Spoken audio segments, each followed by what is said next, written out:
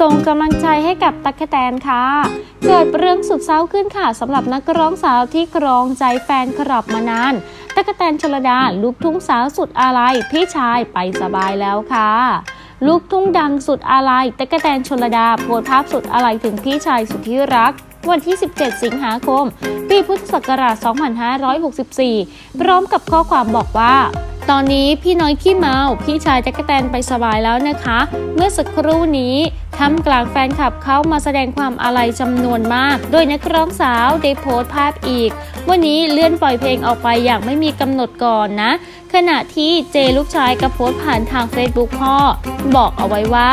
พ่อจากไปอย่างสงบแล้วนะครับ รายละเอียดต่างๆ เดี๋ยวเจจะมาชี้แจงนะครับทางทีมงานต้องขอแสดงความเสียใจด้วยค่ะ